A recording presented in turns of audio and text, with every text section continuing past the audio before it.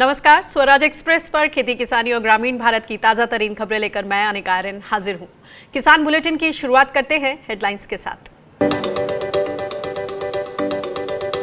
Magnificent MP investor summit में जुटे आदि गोदरेज, संजीव पुरी समेत बड़े उद्योगपति। सीएम कमलनाथ ने पेश किया कृषि क्षेत्र का खाका। उद्योगपतियों से की फ़ूड प्रोसेसिंग में निवेश की अपील। बासमती चावल के निर्यात में आ रही अड़चनों से गिरे दाम। ईरान और सऊदी अरब से निर्यात सौदे घटने का असर। किसानों को मिल रहा प्रति क्विंटल साढ़े पाँच सौ रुपए तक कम कीमत। आरसीईपी के विरोध पर मुखर हुए किसान। पीएम मोदी के नाम ज्ञापन देकर की मुक्त व्यापार समझौता न करने की अपील। मांग न माने जाने पर दी बड़े आंदोलन की चेतावनी। प्रदेश के मुजफ्फरनगर में होमगार्ड्स का प्रदर्शन जारी। आदित्यनाथ सरकार से जल्द बहाली करने की मांग। सरकार ने दिलाया नौकरी न जाने का भरोसा।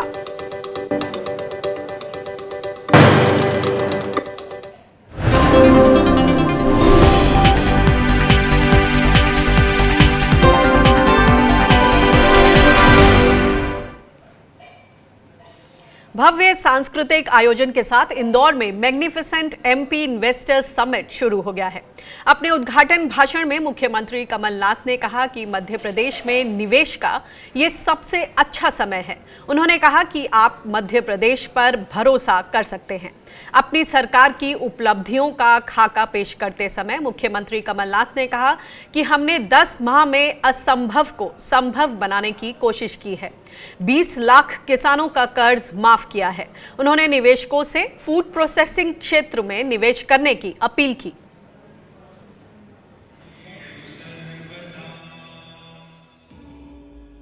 Storage is something we have the land. New technologies are emerging in storage that will change the landscape of wind and solar.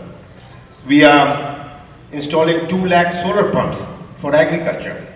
The RESCO model for industries to provide solar energy at reduced rates.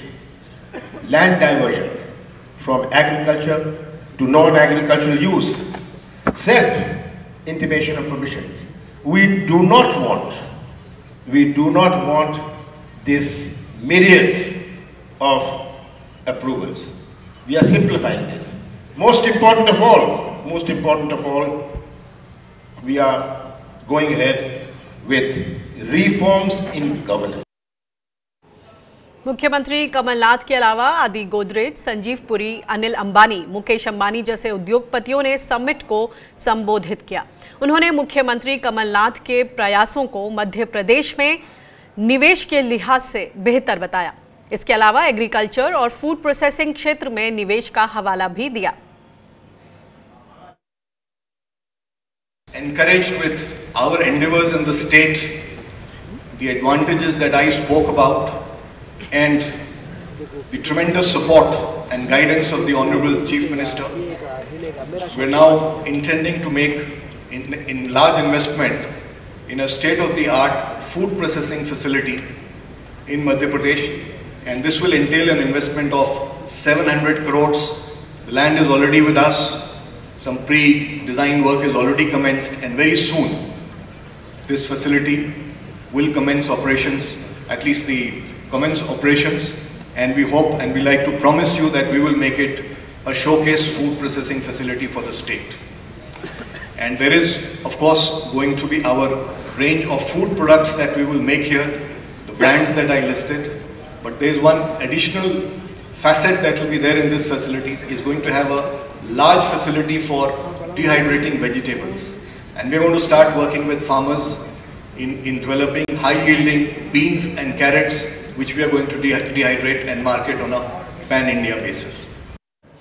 और अब बात करते हैं RCEP की शुक्रवार को देश भर में किसानों ने प्रस्तावित क्षेत्रीय मुक्त व्यापार समझौते आरसीईपी के खिलाफ प्रदर्शन किया। किसान इससे सस्ता आयात बढ़ने और सही कीमतें ना मिल पाने को लेकर काफ़ी चिंतित हैं। इसके विरोध में उतरे किसानों ने जिला अधिकारियों को प्रधानमंत्री के नाम मांग पत्र सौंपा। उन्होंने समझौते को रद्द करने की मांग की। राष्ट्रीय किसान मजदूर महासंघ ने अपनी मांग न माने जाने पर शहरों को दूध और सब्ज़ी की सप्लाई रोकने की भी चेतावनी दी है। बीते दिनों दिल्ली में पंजाब, कर्नाटक, आंध्र प्रदेश, ओडिशा और केरल समेत पंद्रह राज्यों के किसानों ने आरसीईपी को लेकर बैठक की थी। इनका कहना है कि इस समझौते से खेती और डेयरी से जुड़े छोटे किसानों पर सीधा असर पड़ेगा। सस्ते आयात से ग्रामीण अर्थव्यवस्था पूरी तरह से बिखर जाएगी। और RCEP यानी रीजनल कॉम्प्रिहेंसिव इकोनॉमिक पार्टनरशिप पर और ज़्यादा जानकारी के लिए जुड़ गए हमारे साथ फ़ोन लाइन पर राष्ट्रीय किसान मजदूर महासंघ के यूथ विंग के अध्यक्ष अभिमन्यु कोहाड़। अभिमन्यु जी स्वागत है किसान बुलेटिन में। आरसीपी को लेकर देश भर में प्रदर्शन हो रहा है और किस तरह की मांगे आप लोगों ने सामने रखी है जिला अधिकारियों से? और जो मांग पत्र प्रधानमंत्री को सौंपने की बात है उसमें क्या कुछ है? देखिए, मुख्य तौर पे जो ये आरसी की फ्री ट्रेड एग्रीमेंट है इससे हमारे देश के किसान, हमारे देश के दूध उत्पादक और हमारे देश की स्मॉल स्केल इंडस्ट्रीज़ पूरे तरीके से बर्बाद हो जाएँगी। तो आज हमने सिर्फ़ आवेदन किया है और देश भर में लगभग 100 जिला हेडक्वार्टर्स पे हमने प्रधानमंत्री के नाम ज्ञापन सौंपा है। आदरणीय प्रधानमंत्री जी, आप किसानों के हितों की रक्षा कीजिए और ऐसा कुछ भी मत कीजिएगा जिससे किसानों को नुकसान हो या जिससे किसानों के हितों को नुकसान पहुँचे। हमारा इसमें चिंता ये है कि जो आरसीईपी मुक्त व्यापार समझौता है इस मुक्त व्यापार समझौते के तहत पंद्रह देशों से कृषि के उत्पाद दूध के उत्पाद और स्मॉल स्केल इंडस्ट्रीज़ के उत्पादों का आयात किया जाएगा और 80 प्रतिशत प्रोडक्ट्स पे आयात शुल्क ज़ीरो परसेंट कर दिया जाएगा। अब देखने की बात यह है कि जब इस समय चाइना के सामानों को फ्री चाइना के सामानों पे free trade agreement import duty लगती है उस समय में भी चाइना के साथ हमारा जो ट्रेड डेफिसिट है वो साढ़े तीन लाख करोड़ का है हम्म। तो जब ये फ्री ट्रेड एग्रीमेंट पे साइन हो जाएँगे और चाइना भी फ्री ट्रेड एग्रीमेंट में शामिल है तो चाइना के साथ हमारा ट्रेड डेफिसिट और भी अधिक बढ़ जाएगा और चाइना अपने प्रोडक्ट से हमारे मार्केट को पूरे तरीके से एक तरीके से हमारे मार्केट को फ्लड कर देगा तो, तो और दूसरी इसमें बात ध्यान देने योग्य ये है कि बहुत सारे जो दरबारी बुद्धिजीवी हैं वो ये कहते हैं कि भाई हमारे किसानों को भी मौका मिलेगा भारत का सामान भेजने के लिए। लेकिन सवाल यहाँ पे ये उठता है कि हम अपने किसानों की तुलना विदेश के किसानों से नहीं कर सकते हैं। हम्म। विदेश में किसानों को लाखों करोड़ों रुपए की सब्सिडी दी जाती है और हमारे यहाँ पे तो किसानों को एमएसपी भी नहीं मिल पाता है। जो हमारे यहाँ की लैंड पॉपुलेशन रेशियो है, वो डिफरेंट है। और अमेरिका या अन्य देशों की जो लैंड पॉपुलेशन रेशियो है, वो डिफरेंट है। जी, अभिमन्यु, ये बताएँ कि हमने पीछे भी पास्ट में भी, जैसे कहते हैं कि हिस्ट्री से हम हमेशा कुछ सीखते हैं। हमने पास्ट में भी देखे, ऐसे तमाम फ्री ट्रेड अग्रीमेंट्स हुए हैं और उनका बुरा असर पड़ा है देश की अर्थव्यवस्था पर, ऐसा एक्सपर्ट्स का कहना है। तो जब हम ऑलरेडी ये देख रहे हैं तो क्या उससे हम कुछ सीख नहीं रहे हैं कि हमारी जो नेगोशिएशन होनी चाहिए नेगोशिएटिंग पावर उतनी स्ट्रांग होनी चाहिए कि एट पार हम उस डील को, उस समझौते को करें, अगर करें भी। जी। देखिए, इसमें क्या होता है, अब तक हमने चौदह फ्री ट्रेड एग्रीमेंट साइन किए हैं। सबसे पहले भारत और श्रीलंका के बीच एफ़ हुआ था, फिर चिल्ली के साथ हुआ, जापान के साथ हुआ, साउथ कोरिया के साथ हुआ अलग अलग देशों के साथ हमारे चौदह फ्री ट्रेड एग्रीमेंट हुए। अगर हम अभी तक सभी फ्री ट्रेड एग्रीमेंट का अगर जो रिज़ल्ट आया, अगर उसको उठा के देखें तो हर फ्री ट्रेड एग्रीमेंट से हमें नुकसान हुआ है। और जैसे अगर मैं जापान के साथ फ्री ट्रेड एग्रीमेंट की बात करूँ तो जापान ने अपने उत्पाद तो हमारे देश में भेज दिए लेकिन जब हमने आम अपना एक्सपोर्ट किया जापान को तो जापान ने एक जाँच कमेटी बिठा दी हमारे आम के ऊपर और उसकी जाँच करने के बाद कहा कि ये शक्ल से तो देखने में आम लगता है लेकिन ये आम है नहीं और जो हमारा एक्सपोर्ट होता था उस एक्सपोर्ट पे पूरे तरीके से रोक लगा दी। तो अभी मैं उसी नेगोशिएटिंग पावर की बात कर रही हूँ कि जिस तरह से दूसरे देश हमारे देश के सामान पर क्वालिटी खराब है या जो भी कहकर उसको एक दरकिनार करते हैं क्या इस तरह का हम दूसरे देशों का जब सामान आता है तो क्या हम उस तरह की बात अपनी पुरजोर तरीके से सामने नहीं रख पाते क्या? नेगोशिएशन में कहीं ना कहीं ढिलाई बढ़ती जा रही है। देखिए अभी ग्राउंड फैक्ट ये है कि अभी कुछ दिन पहले सरकार ने वो कमेटी बनाई है जो एक ऐसा मैकेनिज्म बनाएगी जो इस बात की जाँच कर सके कि जो भैया विदेशों से जो हमारे देश में सामान आ रहे हैं इनकी क्वालिटी क्या है। क्वालिटी चेक करने के लिए अभी जस्ट कमेटी बैठाई गई है। अभी कोई मैकेनिज्म नहीं है हमारे देश में कि भाई जो न्यूजीलैंड से अगर दूध आएगा इस समझौते के तहत तो उस दूध की क्वालिटी क्या होगी? उसकी जाँच करने का हमारे पास कोई मैकेनिज्म नहीं है हमारी बंदरगाहों पे हमारे पोर्ट्स पे। ये हमारी सरकारों की तैयारी है अब तक। तो जब हमारी तैयारी ही नहीं है तो हम उन जो दूसरे देशों से हमारे यहाँ सामान आ रहा है हम उसकी जाँच कैसे कर पाएँगे? जी अभिमन्यु बहुत बहुत शुक्रिया इस जानकारी के लिए। बढ़ते हैं अगली खबर की ओर। अनाज मंडियों में सीज़न का नया बासमती धान आना शुरू हो गया है, लेकिन किसानों को इसकी सही कीमत नहीं मिल रही है। इस हफ़्ते बासमती चावल की कीमतों में साढ़े पाँच सौ रुपये प्रति क्विंटल की गिरावट आई है। ईरान और सऊदी अरब से बासमती चावल की मांग घटने को बड़ी वजह माना जा रहा है। इसके अलावा अफ्रीकी देशों में भी इसकी मांग में भारी गिरावट आई है। बीते सीज़न के मुकाबले इस साल बासमती चावल का निर्यात दो लाख टन घटकर सोलह दशमलव छह पाँच लाख टन ही रहा। इसके अलावा पिछले चार महीनों में भी बासमती चावल के निर्यात में भारी गिरावट देखी गई है। कारोबारियों के मुताबिक ईरान पर अमेरिका की आर्थिक पाबंदी के चलते मुश्किलें पेश आ रही हैं। वहाँ भारतीय चावल निर्यातकों के करीब 1500 करोड़ रुपए फंसे हुए हैं, जबकि 500-600 करोड़ रुपए का चावल भारतीय बंदरगाहों पर पड़ा है। पुराना भुगतान न होने से व्यापारी नए सौदे भी नहीं कर पा रहे हैं। इसलिए नई फ़सल की कीमत सुस्त बनी हुई है।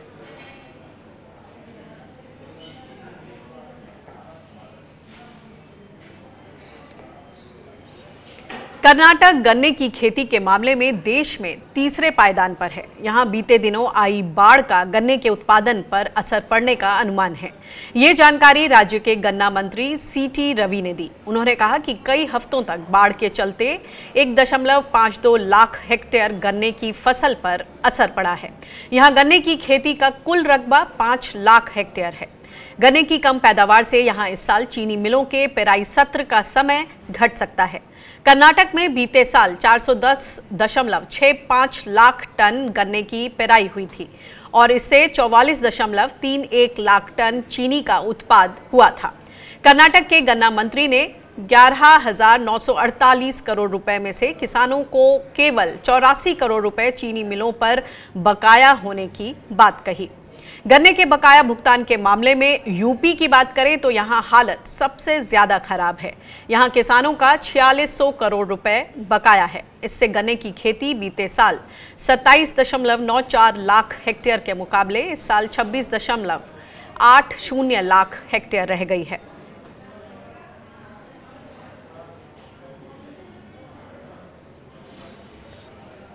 जैसा कि आपको बताया कि गन्ने के बकाया भुगतान के मामले में सबसे ज़्यादा गन्ना उगाने वाले यूपी की हालत सबसे ज़्यादा खराब है।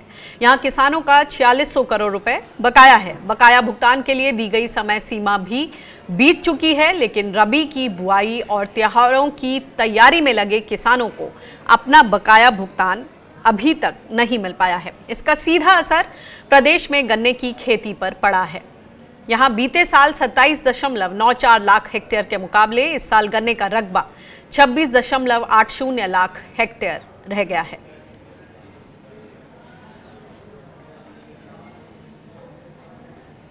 उत्तर प्रदेश में छुट्टा जानवरों की समस्या किसी से छिपी नहीं है। इसको लेकर छत्तीसगढ़ के मुख्यमंत्री भूपेश बघेल ने आदित्यनाथ सरकार पर निशाना साधा। उन्होंने कहा कि किसानों को अपनी फ़सलें, आवारा जानवरों से बचाने के लिए रात रात भर चौकीदारी करनी पड़ रही है। वे बाराबंकी के जैतपुर में विधानसभा उपचुनाव के लिए प्रचार करने आए थे। यहाँ पर चुनावी सभा को संबोधित करते हुए भूपेश बघेल ने यूपी में किसानों को फ़सलों की सही कीमत न मिलने का भी सवाल उठाया। नीति करती रही है, गाय के नाम से वोट मांगते रहे हैं, लेकिन गाय की सेवा ये लोग नहीं कर पा रहे हैं। पूरे हरिशंकर परसाई जी जो व्यंगकार थे जबलपुर के तो उन्होंने कहा कि पूरी दुनिया में गाय है, वो दूध देती है, हिंदुस्तान में वोट देती है। ये लोग केवल गाय के नाम से वोट मांगने का काम करते हैं, गाय की सेवा नहीं करते। किसान बुलेटिन में वक्त है एक छोटे से ब्रेक का। ब्रेक के उस पार खेती किसानी से जुड़ी कुछ और अहम खबरें, आप देखते रहिए किसान बुलेटिन।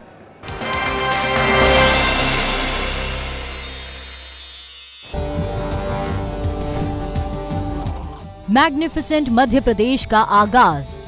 इंदौर में उद्योगपतियों का समागम। तलाशी जाएँगी पूंजी निवेश की संभावनाएँ। महसूस की जाएगी भरोसे की ताकत। होगी विश्वास के नए दौर की शुरुआत। बेमिसाल मध्य प्रदेश में खुलेंगे संभावनाओं के नए द्वार।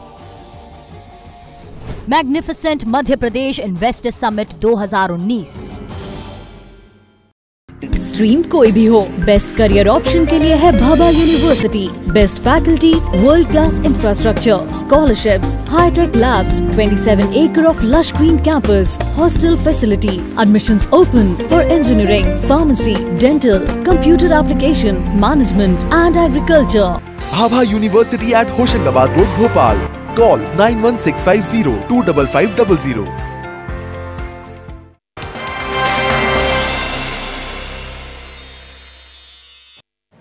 break के बाद आपका स्वागत है। आप देख रहे हैं किसान बुलेटिन।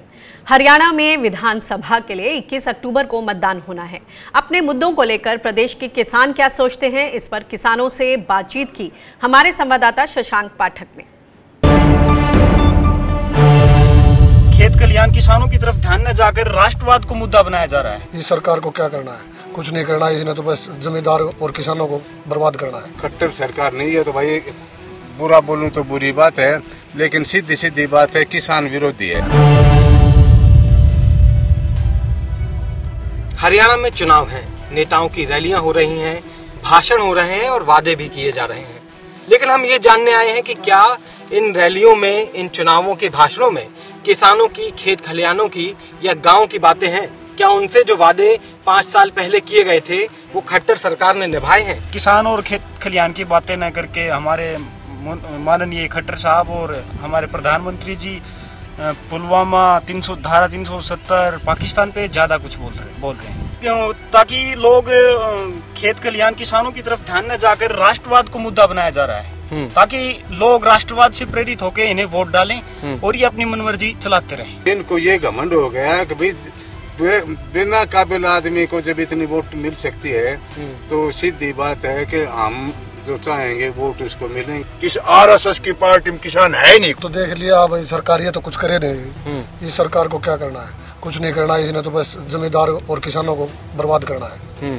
तो देख लिया इसी तो खत्म है। उनसठ हज़ार का चालान कट गया उसका हज़ार का चालान कट गया तो ट्रैक्टर का भी चालान कटेगा तो किसान करेगा की? किसान सम्मान निधि आप बार बार बता रहे हैं प्रधानमंत्री भी कह रहे हैं अखबार भी कह रहे हैं मीडिया भी कह रहा है। कुछ आदमियों को 10 परसेंट आदमियों को नाम पर को एक या दो किस्त भेजी थी अब उन्हीं पे बैन लगा दिया। तो भरपाई है ना। इसमें सिर दर्द है भाई कागज़ ले आओ फलाना ले आओ ऑनलाइन करवा अरे किसान तो किसी टाइम भी जिसने बेचा हो अपना ने बेच के न पा रहा है या तो सिर दर्द ही है खाम खाएँगे टेंशन बड़ी दस क्विंटल लेंगा आठ क्विंटल लेंगा कंडीशन लगा दी। किसान ना ना तो ये खट्टर डाले चाहे मोदी डाले जुत्ती बराबर भी ना समझी वोट मांगने तो आ जैसी कोई समस्या नहीं सुनी पानी किसे पानी बिना दाना ना हूँ कितना में। पानी पीने नहीं मिला। छह गाँवों में पानी नहीं नहर का पानी नहीं है। बता। अपनी तरफ़ से पुरजोर कोशिश ये कर रहे हैं कि किसी भी तरह बीजेपी को हराओ खट्टर सरकार नहीं है तो भाई बुरा बोलूँ तो बुरी बात है लेकिन सीधी सीधी बात है किसान विरोधी है। खट्टर सरकार ने सत्ता में आने से पहले पाँच साल पहले जितने वादे किए थे उनमें से कौन कौन से वादे पूरे हुए? देखो जी स्वामी सबसे मेन मुद्दा था स्वामीनाथन आयोग का। और उसमें ओम प्रकाश धनखड़ जी कपड़े निकाल कर सड़कों भी घूमते थे कि भी किसानों के हक में हम लड़ाई लड़ेंगे। और स्वामीनाथन आयोग की जो रिपोर्ट है उसको लागू करवा के ये दम लेंगे। लेकिन अब कृषि मंत्री होते हुए भी न तो धनखड़ साहब दिखाई दे रहे हैं न खट्टर सरकार कुछ कर रही है।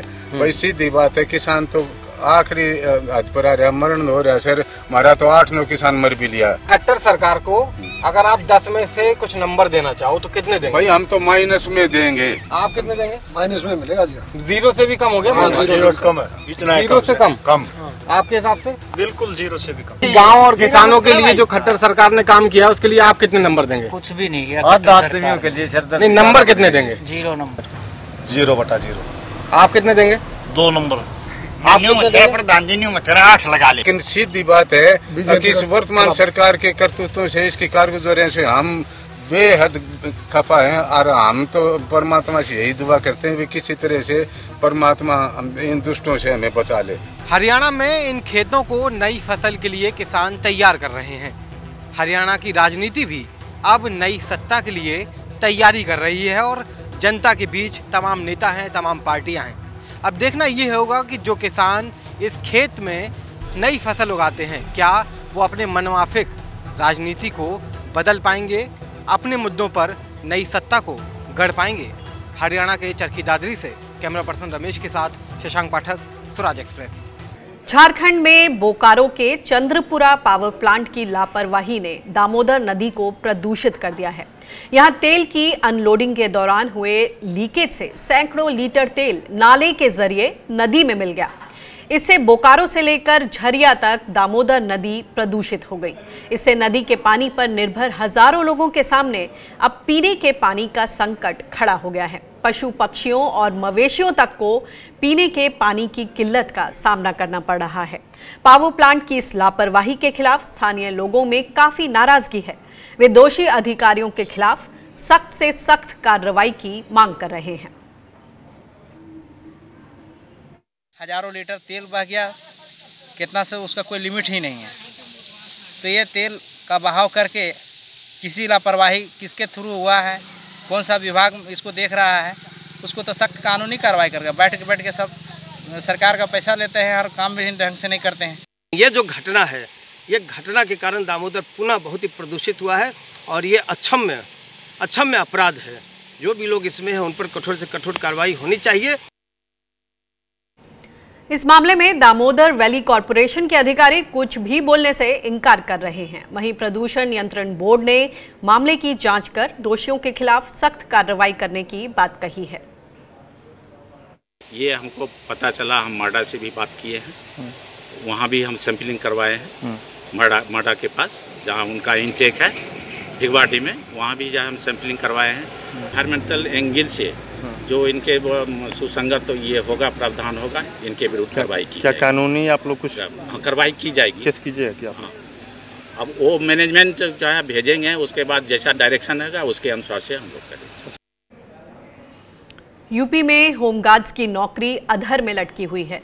सरकार की सफ़ाई भी होमगार्ड्स में भरोसा नहीं जगा पा रही है। वो मुजफ्फरनगर में अपनी नौकरी बचाने की मांग को लेकर प्रदर्शन कर रहे हैं।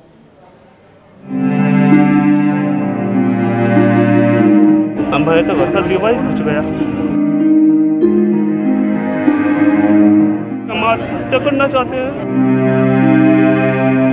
हमारे बाप का इलाज होना था वो इलाज भी नहीं हो पाएगा। आँखों में आँसू। क्या तो हमें रोज़गार दिया जाए या हम- या अच्छा मृत्यु प्रदान की जाए हमें। और ये बेबसी। दिवाली आ रही है दिवाली का हमारा तो दिवाला निकाल दिएगा दिवाली पे तो बोनस दिया जाता। हमको इस तरह ये बोनस दियागा घर बैठाने का बोनस दियागा भीख मांगने से लेकर काली पट्टी बांधकर ये होमगार्ड्स चार दिन से लगातार प्रदर्शन कर रहे हैं। उत्तर प्रदेश के मुजफ्फरनगर में होमगार्ड्स का ये वो तबका है जो ग्रामीण इलाके से आता है। कोई 20 साल से तो कोई 30 साल से होमगार्ड की नौकरी कर रहा है। लेकिन आदित्यनाथ सरकार के एक फैसले ने इन्हें ऐसे चौराहे पर खड़ा कर दिया है जहाँ से आगे का रास्ता इन्हें नहीं दिख रहा। बिना रोज़गार हो के कहीं मजदूरी करने लायक भी नहीं है और ऐसी स्थिति में इतनी एज के जो न तीस साल सेवा दे दी वो अब लोग जाएँगे तो जाएँगे कहाँ? वहाँ जाऊँगे ठल्ले बैठेंगे बेरोजगार भीख मांगनी पड़ेगी। कर्जा हो जाएगा सिर्फ़ बच्चे जो पढ़ रहे हैं वो पढ़ाई से पढ़ाई छोड़ देंगे। दरअसल होमगार्ड्स को पहले पाँच सौ रुपये का रोज़ाना भत्ता मिलता था, जिसे सुप्रीम कोर्ट ने छः सौ बहत्तर करने का आदेश दिया। लेकिन यूपी सरकार ने बजट का हवाला दिया और पच्चीस हज़ार होमगार्ड्स की नौकरी पर तलवार लटक गई। हालाँकि मामले को बढ़ता देख बाद में सरकार ने रोज़गार के दिन कम करने की बात कही। मैं इन लोगों से सबसे तो यही अपील करना चाहूँगा और कहना भी चाहूँगा कि आप लोग कोई धरना प्रदर्शन मत करिएगा। ये सुप्रीम कोर्ट का निर्णय आया है और वो लोग ही सुप्रीम कोर्ट गए थे ये बढ़ा हुआ जो मानदेय है एकदम से जो है एकदम से इसकी व्यवस्था करना आसान काम नहीं होता है। लेकिन पूरी कोशिश हो रही है और मैं समझता हूँ कि आम, सरकार जो है वो कोई ना कोई रास्ता ढूंढेगी और किसी की भी नौकरी जो है नहीं जाएगी। मंत्री जी का आश्वासन अपनी जगह है, लेकिन होमगार्ड्स जल्द से जल्द बहाली की मांग कर रहे हैं, क्योंकि इस मामले से रोशनी के त्यौहार में इन होमगार्ड्स को अब आगे अंधेरा ही अंधेरा दिख रहा है। उत्तर प्रदेश के मुजफ्फरनगर से आशीष कुमार के साथ bureau report, Swaraj express. Delhi NCR में हवा की क्वालिटी लगातार खराब होती जा रही है। उधर पंजाब में सरकार की लाख कोशिशों के बावजूद किसान पराली जला रहे हैं। वो इसे अपनी मजबूरी बता रहे हैं। किसानों के मुताबिक पराली को जलाने की जगह दूसरे तरीकों से पराली को निपटाने पर ज़्यादा खर्च आता है, जिसे छोटे किसान नहीं सह सकते हैं। किसानों ने इसके लिए सरकार से प्रति एकड़ छह हज़ार रुपए की आर्थिक मदद की मांग की है। ਕਿ ਕਿਸਾਨ ਕਹਿੰਦਾ ਸਾਨੂੰ ਮਤਲਬ ਲਾਉਣ ਦੀ ਲੋੜ ਹੀ ਨਹੀਂ। ਤੁਸੀਂ ਆਪ, ਮਤਲਬ ਸਾਡੀ ਪਰਾਲੀ ਜਿਹੜੀ ਹੈ, ਇਹਦੀ ਮਤਲਬ ਕੋਈ ਸਾਂਭ ਸੰਭਾਲ ਵਾਸਤੇ ਲੈ ਜਾਓ, ਪਰਾਲੀ ਸਾਡੇ ਕੋਲ ਲੈ ਜਾਓ। ਜੇ ਨਹੀਂ ਤੁਸੀਂ ਖੜਨੀ ਸਾਨੂੰ ਸਾਂਭ ਸੰਭਾਲ ਵਾਸਤੇ ਬੋਨਸ ਦੇ ਰੂਪ ਦੇ ਵਿੱਚ ਦਿਓ ਪੈਸੇ। ਜਾਂ ਇਹਦੀ ਸਾਂਭ ਸੰਭਾਲ ਵਾਸਤੇ ਉਸ ਤਰ੍ਹਾਂ ਦਿਓ 6000 ਰੁਪਇਆ, ਮਤਲਬ ਇੱਕ ਏਕੜ ਪਿਛੇ, ਤੇ ਸਰਕਾਰ ਕੁਝ ਵੀ ਨਹੀਂ ਕਰਦੀ। ਸਾਨੂੰ ਕੁਝ ਨਹੀਂ ਦਿੰਦੇ। ਇਸ ਕਰਕੇ ਸਾਨੂੰ ਮਜਬੂਰੀ ਕਾਰਨ ਪਰਾਲੀ ਨੂੰ ਅੱਗ ਲਾਉਣੀ ਪੈਂਦੀ ਆ। ਸਾਡਾ ਦਿਲ ਨਹੀਂ ਕਰਦਾ ਪਰਾਲੀ ਨੂੰ ਅੱਗ ਲਾਈਏ। ਉਸ ਤੋਂ ਬਾਅਦ ਦੇ ਵਿੱਚ ਪਾਕਿਸਤਾਨ ਤੋਂ ਤੂੰ ਆ ਰਿਹਾ ਵਾ। ਹਿਮਾਚਲ ਚੋਂ ਤੂੰ ਆ ਰਿਹਾ ਵਾ ਕੀ ਇਕੱਲਾ ਪੰਜਾਬ ਦਾ ਤੂੰ ਆ ਦਿੱਲੀ ਨੂੰ ਜਾ ਕੇ ਪੈ ਰਿਹਾ ਵਾ ਪੰਜਾਬ ਦੇ ਲੋਕਾਂ ਨੂੰ ਕਿਉਂ ਨਹੀਂ ਧੂਆਂ ਪੈ ਰਿਹਾ ਦਿੱਲੀ ਦਾ जम्मू कश्मीर का विशेष दर्जा खत्म किए जाने के बाद से घाटी के हालात सामान्य नहीं हो पाए हैं शोपिया में सेब व्यापारी और ट्रक ड्राइवर की हत्या के बाद से कारोबारियों में खौफ का माहौल है। इससे सेब कारोबार बुरी तरह से प्रभावित हुआ है। सेब व्यापारी घाटी छोड़ने लगे हैं। इससे सेब बागवानों को इस साल भारी घाटा लगने का खतरा खड़ा हो गया है।